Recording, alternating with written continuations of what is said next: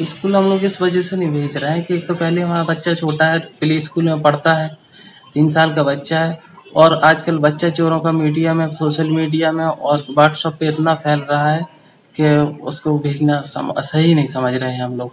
और दूसरी बात, कल कल ही देखा है कि बस स्टैंड से कुछ बच्चा चोर पकड़े भी गए हैं, जो कोतवाली में भीड़ लगी हुई थी वहाँ पे। तो इतना, इतनी भीड़ लगी हुई थी कि जिससे भी पूछो तो वही बोला थे, बच्चा चोर हैं। तो इस वजह से हम भेजना नहीं चाहते अगर कुछ हो गया कुछ ऊंच नीच हो गई बच्चे को तो उसका जिम्मेदार कौन होगा? हमारे माँ बाप भी रोक रहे हैं घर वाले भी सभी लोग रोक रहे हैं कि अभी बच्चे को नहीं भेजो। तो अभी हम भेजना नहीं चाहते बच्चे को अपना। और क्या है बच, इतनी दहशत फैली हुई है हम लोगों के अंदर कि हम लोग परेशान हैं इन चीज़ों से। इसलिए बच्चे को चीज़ लेने भी अगर हम लोगों को जाना है तो हम लोग बाहर नहीं निकलने देते हैं चैनल से। अगर कुछ चीज़ लेना है तो हम लोग बच्चे से बोल देते हैं कि जो कुछ भी चाहिए है तो हम लेके आते हैं आप घर पर रहो। हाँ लगभग लगभग तो सभी परिजनों को इस प्रकार की दहशत होगी। जब हमें है तो उनको भी होगी। और सबके घर में जाके तो पूछते नहीं है लेकिन अपने से अंदाज़ा लगाया जा सकता है। हाँ?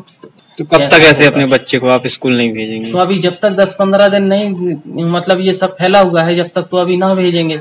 उसके बाद जब ये थोड़ा ठंडा हो जाएगा माहौल तब अपने बच्चे को भेजने लगेंगे। कतिपय शरारती तत्व द्वारा जो है पन्ना ज़िले में यह भ्रामक खबर फैलाई जा रही है कि बच्चा चोरी का गिरोह है और वो पकड़ा धकड़ी कर रहा है। इस पर से काफ़ी जो है यहाँ के पब्लिक भयभीत है और वो है ये ये पूर्ण सरासर गलत है। यहाँ पन्ना ज़िले में कोई भी बच्चा चोर गिरोह ना तो है, ना तो वो संचालित है, ना तो वो कोई भी ऐसी चीज़ें प्रकाश में आई हैं। इस चीज़ को लेकर के एक दो जगह की घटनाएँ भी कोई भी बाहरी व्यक्ति कोई साड़ी बेचने वाला आ रहा है, कोई अन्य चीज़ों के लिए आ रहा है, उसको यह भ्रामक रूप से समझ करके कि ये बच्चा चोर का है, उसमें जो है पब्लिक इकट्ठा होने लगती है। इस चीज़ पे सावधान रहें, कोई भी बच्चा चोर गिरोह पन्ना में संचालित नहीं है। आपके चैनल के माध्यम से मैं विशेष रूप से यह सभी से आग्रह कर रहा हूँ कि इस भ्रामक प्रचार में न पड़े कि कोई भी ऐसे कृत्य न करें जो कानून व्यवस्था की स्थिति निर्मित हो सके। और बाद में वो कोई ऐसी बड़ी घटना घटित हो सके। इसलिए इस भ्रामक प्रचार से बचें। सबको जैसे पटना में था वो तिदनी के लोग बाग आए थे उनके रिकॉर्ड भी देखा गया उसमें कोई अधिक प्रकरण नहीं है।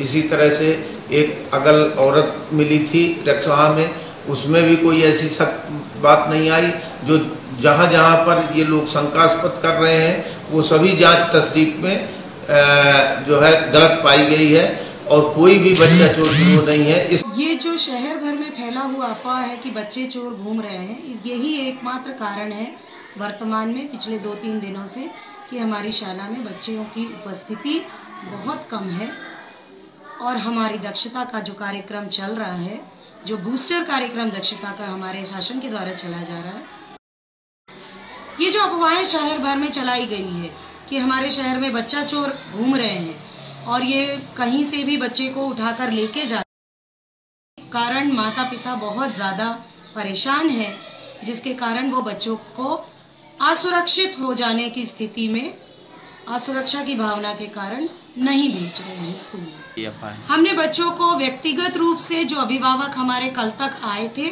उनको व्यक्तिगत रूप से निवेदन किया है कि आप नियमित रूप से बच्चों को भेजें। हमारी जो प्रार्थना सभा सुबह की होती है और शाम की होती है विसर्जन मंत्र उस समय भी हम बच्चों को स्पेशल हिदायत देते हैं किस तरह की अफवाहों के पीछे न भागे न यकीन करें और नियमित स्कूल आए जिससे हमारा बूस्टर कार्यक्रम जो दक्षता का चल रहा है वो हम सफलतापूर्वक पढ़ाई मैडम प्रभावित हो। रही है इससे। प्रभावित हो रही है बहुत ज़्यादा हो रही है क्योंकि हमारे राज्य शिक्षा केंद्र के द्वारा बूस्टर कार्यक्रम विशेष रूप से दक्षता के लिए चलाया जा रहा है और इसी प्रकार की अफवाहों से अगर हमारे बच्चे नियमित कम उपस्थित होने लगेंगे तो हमारा बूस्टर कार्यक्रम भी प्रभावित होने लगेगा।